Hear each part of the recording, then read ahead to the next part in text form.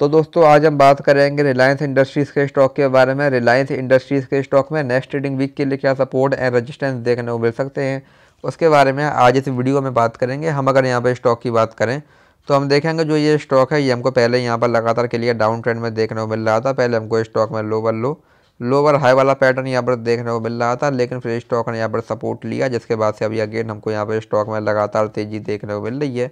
अभी अगेन हमको यहाँ पे स्टॉक में हाइयर हाई हाइयर लो वाला पैटर्न यहाँ पर अगेन देखने को मिल रहा है। लेकिन आज हमको यहाँ पर स्टॉक में one point six zero percent की यहाँ पर गिरावट भी देखने को मिली है।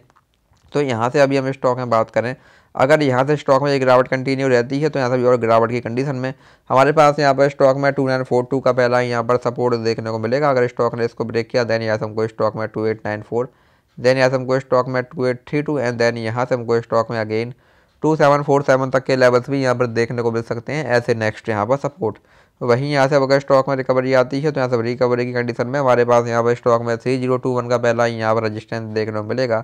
अगर स्टॉक ने इसको भी यहाँ ब्रेक किया देन यहाँ से हमको स्टॉक में अगेन एक अच्छी तेज़ी, एक अच्छी बाइंग यहाँ पर देखने को मिल सकती है। इसके बाद हमको यहाँ पर स्टॉक में थर्टी वन हंड्रेड देन यहाँ से हमको स्टॉक में thirty two hundred and then यहाँ से हमको स्टॉक में again thirty three, thirty four hundred तक के लेवल्स भी यहाँ से देखने को मिल सकते हैं। तो ये स्टॉक में कुछ इंपॉर्टेंट लेवल्स हैं, आप इन पर ध्यान दे सकते हैं। बाकी वीडियो में कोई बाय सेल होल्डिंग सलाह नहीं है। वीडियो केवल एजुकेशनल पर्पज़ के लिए है। धन्यवाद।